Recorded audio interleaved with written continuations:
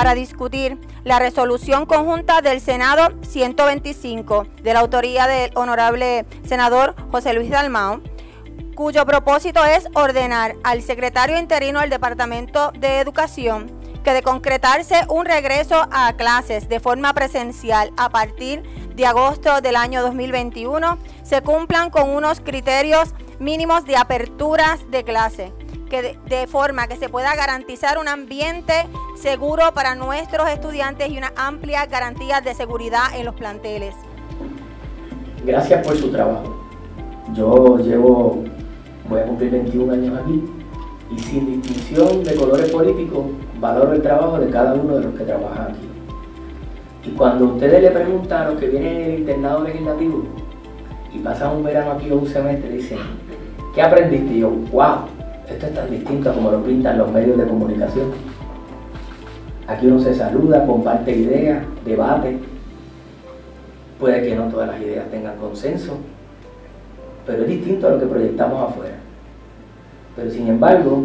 las personas que laboran aquí en la Asamblea Legislativa y principalmente en el Senado, cuando usted va afuera, se siente orgulloso diciendo que trabaja para el Senado de Puerto Rico y la gente que lo ve afuera lo valora.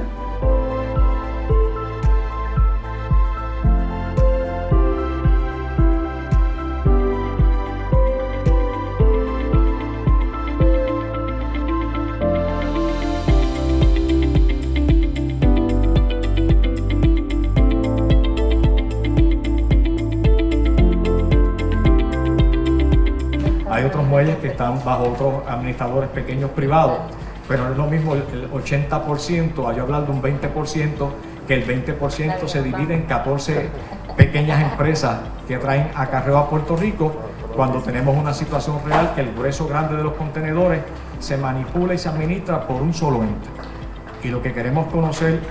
dónde estamos nosotros a la fecha de hoy como gobierno, qué plan alterno tenemos nosotros como gobierno, qué disponibilidad tenemos nosotros para desarrollar Ponzo, Mayagüez, los otros muelles que podamos evaluar en un momento dado, qué necesitamos para echar a correr esos muelles adicionales, qué certificaciones, licencia, a quién tenemos que movernos y realmente cuál va a ser el plan alterno del gobierno para atender esta situación.